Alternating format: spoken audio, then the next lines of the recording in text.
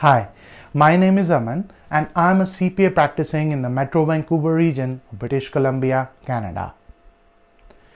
During difficult economic times, there is a tremendous temptation on the part of struggling business owners to finance the business by not remitting the required amounts for source deductions and the GST to the Canada Revenue Agency.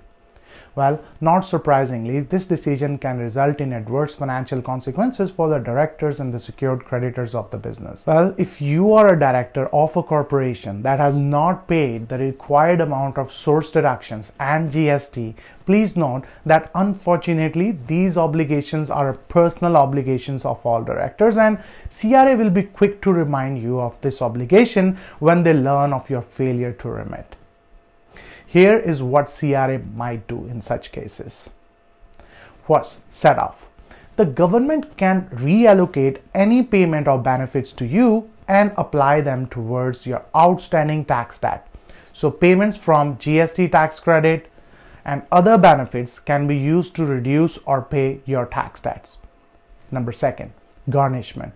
Canada Revenue Agency can seize funds from banks other third parties and your wages to satisfy tax debts. Third, seizure and sale of your property.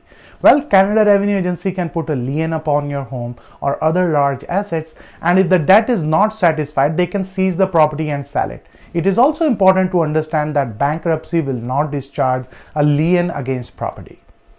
Number four, holding the third party jointly responsible. Well, Canada Revenue Agency has the ability to hold third parties such as related corporations, spouses, and even other partners liable for your unpaid tax debts.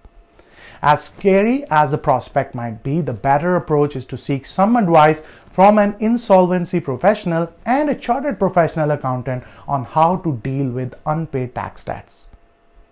Thanks for watching and see you in my next video.